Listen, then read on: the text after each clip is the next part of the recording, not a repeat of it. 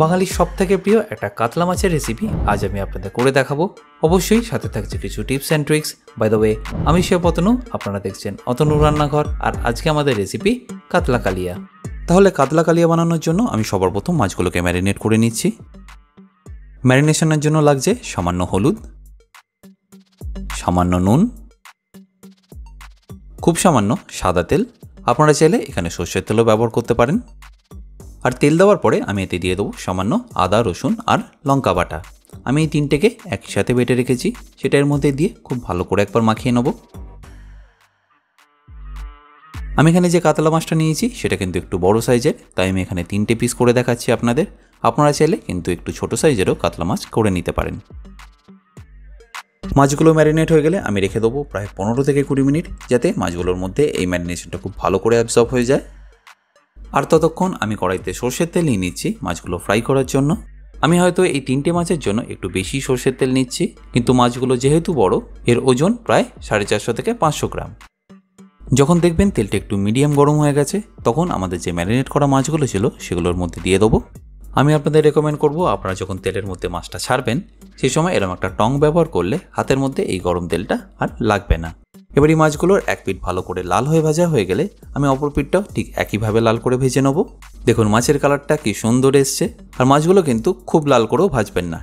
এবার এই ভাজা মাছগুলোকে আমি একটা প্লেটের মধ্যে তুলে নিয়ে ওই একই তেলে দিয়ে দেবো কিছু গরম মশলা। বাই দ্য আপনাদের যদি এরকম সুন্দর সুন্দর কৌটো বা আমি যে ইউটেন্সিলগুলো পুরো ভিডিওতে ব্যবহার করি, সেগুলো যদি আপনাদের কিনতে হয়, আমি ডেসক্রিপশন বক্সে এর লিঙ্ক দিয়ে রেখেছি। আপনারা চাইলে ইজিলি সেগুলো অ্যামাজন থেকে কিনে নিতে পারবেন। এবার গরম মশলাগুলো আমি তেলের মধ্যে দিয়ে দেবো। প্রথমে দিয়ে দিচ্ছি তেজপাতা, জাবেত্রী, দারচিনি, লবঙ্গ আর কয়েকটা এলাচ। এই গোটা গরম মশলা থেকে ফ্লেভারটা একটু ছেড়ে দিলে আমি এখানে দিয়ে দিচ্ছি সামান্য পাতলা করে কাটা পেঁয়াজ। আমরা এখানে পেঁয়াজ দুভাবে ব্যবহার করব। প্রথমে এই পেঁয়াজগুলোকে আমরা প্রায় লাল করে ভেজে নেব। যখনই দেখবেন পেঁয়াজটা এরকম লাল হয়ে ভাজা হয়ে গেছে, সেই সময় আমাদের এখানে দিয়ে দিতে হবে খুব সামান্য চিনি। এই চিনিটা ক্যারামেল হওয়ার পরেই কালারটা কিন্তু আরও সুন্দর আসবে। চিনি দেওয়ার পরে আমি এখানে দিয়ে দেবো পেঁয়াজ বাটা। আমি আপনাদের আগেই বলেছি যে আমরা এখানে দুভাবে পেঁয়াজ ব্যবহার করব। এবার এই পেঁয়াজটাকে দু থেকে তিন মিনিট একটু ভালো করে কুক করে নেবেন। যখনই দেখবেন তেলটা আস্তে আস্তে ছাড়া শুরু হচ্ছে, তখন আমি এখানে দিয়ে দেবো আদা রসুন আর লঙ্কা বাটা। আমি এই তিনটেকে একই সাথে আগে থেকে বেটে রেখেছিলাম। এবার একে একে আমি এর মধ্যে মশলাগুলো দিয়ে দিচ্ছি, আর একদম ঘরোয়া মশলা, আপনাদের কোনো রকম অসুবিধা হবে না। আমি কিচেনের প্রায় সব কিছু মশলাই এরকম কৌটোগুলোর মধ্যে রাখি, দেখতেও খুবই সুন্দর লাগে। তাহলে এবার আমি সবার প্রথম দিয়ে দিচ্ছি কাশ্মীরি লঙ্কার গুঁড়ো, রঙের জন্য একটু বেশি লাগবে আমাদের। এবার একে একে আমি বাকি মশলাগুলো দিয়ে নেব, যেমন ধনে গুঁড়ো, জিরে গুঁড়ো, হলুদ, আর স্বাদ মতো নুন। এবার এই মশলাটাকে দু তিন মিনিট কষলেই দেখবেন আস্তে আস্তে তেলটা ছাড়া শুরু হচ্ছে। তখন আমরা এর মধ্যে দিয়ে দেবো টমেটো বাটা। এবার এই টমেটোটা দেওয়ার পরে আমরা ততক্ষণ কষিয়ে নেব, যতক্ষণ না টমেটোটা থেকে তেলটা ছেড়ে দিচ্ছে। আচ্ছা এখানে একটা ছোট্ট টিপস, আপনারা যদি পেঁয়াজটাকে আগে থেকে বেরেস্তা করে রাখতে পারেন, তাহলে একদম পেঁয়াজ বাটা দিয়ে আপনারা এই রান্নাটা করে নিতে পারেন, আর সবশেষে বেরেস্তাটা ওপরে ছড়িয়ে দিলেও হবে। এই পেঁয়াজটা আগে থেকে বেরেস্তা করে নেওয়ার কারণে পেঁয়াজগুলো যখন খাওয়ার সময় মুখে পড়ে, বেশ মিষ্টি মিষ্টি ভালোই লাগে খেতে। এটা এই মাছের গ্রেভিটার স্বাদটা আরও অনেকটাই বাড়িয়ে দেয়। দেখতেই পাচ্ছেন, টমেটোটা থেকে তেলটা অনেকটাই ছেড়ে দিয়েছে। মানে আমাদের টমেটোটা খুব ভালো করে কুক হয়ে গেছে। এবার আমি এর মধ্যে দিয়ে দেবো সামান্য টক দই। টক দইটা দেওয়ার সময় আপনাদের গ্যাসের ফ্লেমটা একটু স্লো রাখবেন নাহলে টক দইটা ফেটে যাওয়ার সম্ভাবনা থাকে। একবার খুব ভালো করে মেশানো হয়ে গেলে তারপরে আপনারা গ্যাসের ফ্লেমটাকে হাই করে দিতে পারেন। আর দই দেওয়ার পরও আপনাদের গ্রেভিটা থেকে যতক্ষণ এরকম তেলটা বেরিয়ে আসছে ততক্ষণ আপনারা জলটা দেবেন না। একবার এরকম তেলটা বেরিয়ে আসলে আপনারা এখানে জল ব্যবহার করবেন। এবার একবার ভালো করে মিশিয়ে নিয়ে গ্যাসের ফ্লেমটাকে মিডিয়াম রেখে যখন দেখবেন গ্রেভিটা এরকম স্লো ফ্লেমে ফুটছে, আমাদের এই ভাজা মাছগুলো এর মধ্যে দিয়ে দিতে হবে। তাহলে এবার আমাদের কাতলা কালিয়া প্রায় অলমোস্ট রেডি মোটামুটি ছ থেকে সাত মিনিট একবার ভালো করে ফুটিয়ে নিলেই আমাদের এই গ্রেভিটা রেডি হয়ে যাবে। দেখুন কি সুন্দর লাগছে দেখতে আর কালারটা কত সুন্দর এসছে।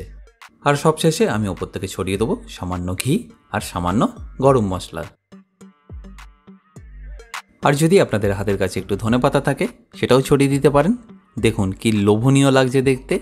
গরম গরম ভাতের সাথে এটা কিন্তু দারুণ লাগবে খেতে। সর্ষে রুই বা মাস্টার্ড ফিশ কারি রেসিপি আপনারা হয়তো বাড়িতে নিশ্চয়ই ট্রাই করেছেন। কিন্তু এই হোটেল বা রেস্টুরেন্টে এই মাস্টার্ড ফিশ কারি কীভাবে বানানো হয়? আর তার গ্রেভিটাও এত স্মুথ আর রঙটা এত সুন্দর কীভাবে হয়? সেই সব টিপস অ্যান্ড ট্রিক্স নিয়ে আমি ভিডিওটা আপনাদের সাথে শেয়ার করছি।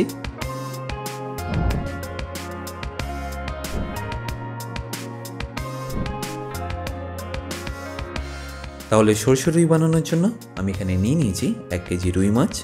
যেহেতু এখানে পিসগুলো একটু বড়, তাই এক কেজি মাছ আমার ছটা পিসেই হয়ে গেছে। এবার এই মাছগুলোকে আমি একটু ম্যারিনেট করে নিচ্ছি। ম্যারিনেশনটা খুবই সিম্পল। আমরা যেরকম বাড়িতে করে থাকি, সামান্য তেল, হলুদ আর নুন দিয়ে এটাকে ম্যারিনেট করে নেব। আচ্ছা এখানে রুইয়ের বদলে আপনারা কাতলা মাছও নিয়ে নিতে পারেন। আর রুই বা কাতলা না পেলেও বাসা ফিস দিয়ে এই রেসিপিটা আপনারা ইজিলি করে নিতে পারবেন।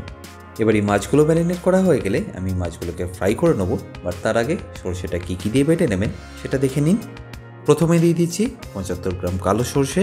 এখানে আপনাদের কালো সর্ষের পরিমাণ একটু কমই রাখতে হবে। আর তার সাথে দিয়ে দিচ্ছি দেড়শো গ্রাম সাদা সর্ষে। এই মাপটা কিন্তু আপনারা অবশ্যই খেয়াল রাখবেন।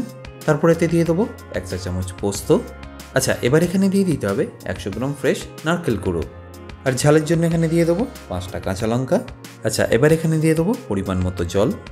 এখানে জলটা আপনাদের একটু কমই দিতে হবে, নাহলে পেস্টটা মিহিভাবে হবে না। আর পেস্ট করার আগে এখানে ফাইনালি দিয়ে দেবো এক চা চামচ সর্ষের তেল। দেখতেই পাচ্ছেন পেস্টটা কিন্তু একদম মিহিভাবে হয়ে গেছে আর রেস্টুরেন্টের মতো একদম স্মুথ গ্রেভি বানানোর জন্য আমাদের এই পেস্টটাকে ছেঁকে নিতে হবে। সেই জন্য আমি এখানে আর একটু জল ব্যবহার করছি যাতে আমাদের ছাঁকতে কোনো রকম অসুবিধা না হয়। বাড়িতে যে চা চাকার ছাঁকনি থাকে, সেটা দিয়ে আপনারা খুব ইজিলি এটাকে ছেঁকে নিতে পারবেন। আর একটু ভালো করে ছেঁকে নিলেই সর্ষের খোলা আর নারকলের অবশিষ্ট ছাড়া কিছুই থাকবে না। আর এখানে ওয়েস্টেজ হওয়ার কোনো রকমই ভয় থাকছে না। আর ঠিক একইভাবে আমি পুরো পেস্টটাকেই ছেঁকে নিচ্ছি। নারকলের দুধের সাথে সর্ষের এই কম্বিনেশনটা কিন্তু দারুণ সুন্দর লাগে। অতি অবশ্যই কিন্তু এটা আপনারা ট্রাই করবেন। আশা করি আপনাদের এতক্ষণে বুঝতে কোনো রকম অসুবিধা হয়নি। তাহলে এবার বাকি রেসিপিটাও দেখে নিন। এবার এই মাছগুলো ভাজার জন্য আমি একটা পাত্রে নিয়ে নিচ্ছি একশো মিলি সর্ষের তেল। আর তেলটা যখন একটু মিডিয়াম গরম হয়ে যাবে আমাদের যে ম্যারিনেট করা মাছগুলো ছিল, সেগুলোর মধ্যে দিয়ে দিচ্ছি। আচ্ছা এখানে আমি বলে রাখি, মাছটা আমাদের খুব বেশি লাল করে ভাজতে হবে না। যখনই দেখবেন দুদিকে এরকম একটা হালকা কালার চলে এসছে, আমাদের মাছগুলোকে তুলে নিতে হবে। আর ঠিক একইভাবে আমি বাকি মাছগুলোকেও ভেজে নিচ্ছি।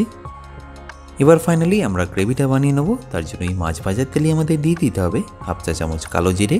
কালো জিরে থেকে একটু ভালো গন্ধ ছেড়ে দিলে তাতে দিয়ে দিতে হবে দু চা চামচ আদা রসুন বাটা। এবার এই গ্যাসের ফ্লেমটাকে স্লো করে আদা, রসুন বাটাটাকে আপনাদের ভালো করে ভেজে নিতে হবে। আর ভাজা হয়ে গেলে এখানে আমাদের একটাই মশলা দিতে হবে, সেটা হচ্ছে হলুদ গুঁড়ো। আর এই হলুদ গুঁড়ো দেওয়ার সাথে সাথে একবার ভালো করে মিশিয়ে নিয়ে আমাদের এখানে দিয়ে দিতে হবে একটু টমেটো বাটা। আর অতি অবশ্যই এখানে নুনটা দিতে ভুলবেন না। এবার গ্যাসের ফ্লেমটাকে স্লো করে চার থেকে পাঁচ মিনিট এটাকে খুব ভালো করে আপনাদের মিশিয়ে নিতে হবে। যতক্ষণ না টমেটোটা থেকে তেলটা ছেড়ে আসছে, যখনই দেখবেন এই টমেটো পেস্টটা এরকম দানা দানা মতো হয়ে এসছে তখনই বুঝবেন এই টমেটো পেস্টটা খুব ভালোভাবে কুক হয়ে গেছে আর তেলটাও দেখতে পাচ্ছেন বেশ অনেকটাই ছেড়ে গেছে।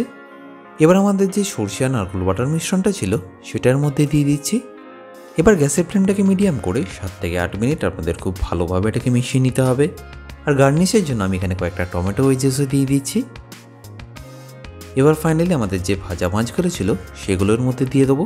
মাছগুলো দেওয়ার পরে যদি দেখেন গ্রেভিটা খুবই কম আছে, সেক্ষেত্রে আপনারা এখানে একটু জল ব্যবহার করতে পারেন। যদি এরকম বড় সাইজের মাছ থাকে, তাহলে সেটাকে বারবার পাল্টে নেওয়ার চেষ্টা করবেন না। নাহলে কিন্তু মাছগুলো ভেঙে যাওয়ার সম্ভাবনা থাকে।